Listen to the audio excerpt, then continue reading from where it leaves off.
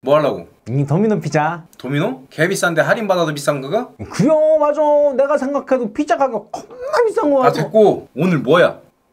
아메리칸 패티멜트 피자 가격, 라지 29,800원 특징 직화 패티에 녹인 치즈 4개랑 토마토 들어갔디야 그게 다야? 에 미국 치즈버거 맛이 나는 피자랴 어? 치즈버거 피자? 그거 딴 데서 팔잖아 이 안에 그래서 갖고 왔지 여기 잭슨 피자 멜팅 치즈버거 그건 얼마야? 23,000원 이건 좀 작은데? 기지. 아 피자가 이게 아무 때나 먹을 수 있는 음식이 아니오. 너도 나도 죄다 비싸고만 해아 됐고. 먹어본 거야?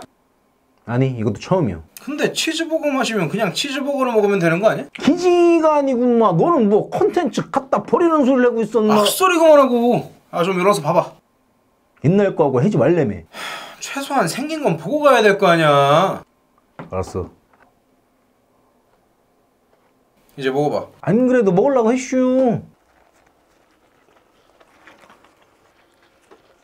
먹는 거랑 근본 있어. 기지 내가 어릴 때부터 잘 먹는다는 소리는 기가 막히게 잘 아 됐고 맛은 어때? 도미노부터. 치즈 피자인데 패티 넣어놓고 햄버거랑 우기는 맛. 잭슨 피자 맛은 어때? 토마토 소스가 조금 많이 들어간 미국 피자 버거 맛. 그럼 둘 중에 맛있는 거 골라봐. 도우부터. 잭슨. 패티. 들은 거 보이지? 잭슨. 치즈는? 치즈는 도미노가 많이 들었어. 토마토는? 잭슨에 드라이 토마토가 들어서 훨씬 꾸덕하네. 그래서 또 사 먹어 안 먹어?